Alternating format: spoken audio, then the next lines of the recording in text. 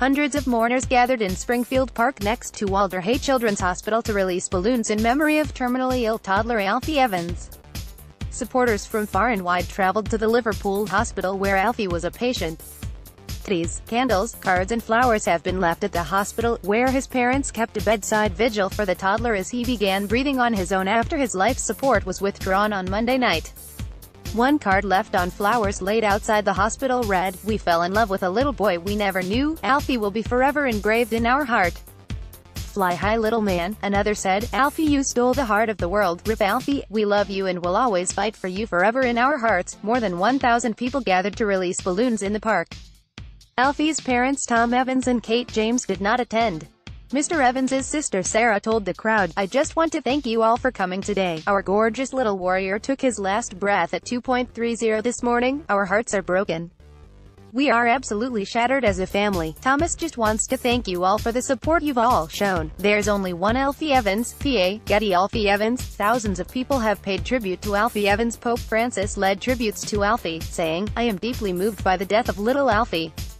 Today I pray especially for his parents, as God the Father receives him in his tender embrace. Alfie's parents announced their son had passed away over Facebook. They told the 810,000 members of the Alfie's Army group, Our baby boy grew his wings tonight at 2.30 a.m. We are heartbroken. Thank you everyone for all your support. The toddler's name trended on social media as Britain woke up to news he had died. Chef James Martin said simply, Rip Alfie Evans. Frank Bruno said, Rip Alfie Evans. Heartbreaking news to hear this morning, my thoughts. God rest his soul, Piers Morgan said, Rip Alfie Evans. My deepest condolences to his parents, who fought so hard for their brave little boy, and thousands paid tribute on Alfie's supporters page, Alfie's Army, with tributes flooding the Facebook group.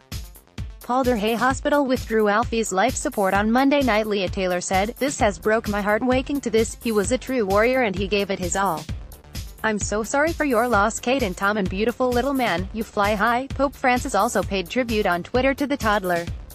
He said on Twitter, I am deeply moved by the death of little Alfie. Today I pray especially for his parents, as God the Father receives him in his tender embrace. Alder Hey has asked people to leave tributes to Alfie in Springfield Park, next to the hospital. A statement from the hospital said, We feel sure people will wish to place tributes to Alfie along with messages of support for Kate and Tom. To ensure there is sufficient space for these and to ensure the safety of all those who wish to visit, we have secured a suitable place in Springfield Park situated next to Alder Hey Hospital. This is on the advice of Merseyside Police. People will be available to direct you to that space throughout the weekend. Facebook tributes to Alfie Evans posted on Facebook at Olive Oil 60 said, huge condolences to the heartbroken parents of.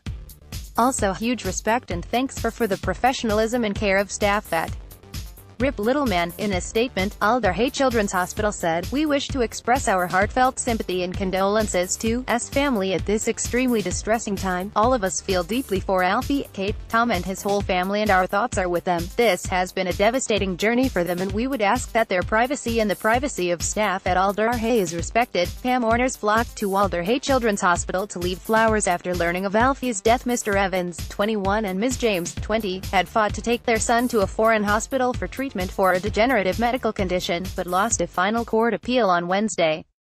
Doctors removed Alfie's life support following a high court judge's ruling on Monday, however, he continued to breathe by himself. His parents said that the youngster had defied doctors' expectations as they took their case to the Court of Appeal, but their last-ditch application to take him abroad was ultimately rejected. The case has provoked strong feelings over whether judges, doctors or parents have the right to decide on a child's life. Alfie's parents have been backed by Pope Francis and Poland's President Andrzej Duda. Patettis and flowers were left at the hospital after the tot died this morning. Pa hundreds turned up to release purple balloons. The attention and emotion garnered by Alfie's plight and his parents' determined public campaign to get the treatment they believed he needed led to tensions between supporters and staff at Alder Hey. After accepting that their options had been exhausted, Alfie's parents sought to build bridges with medical staff and pledged to work alongside doctors to give him the dignity and comfort he needed.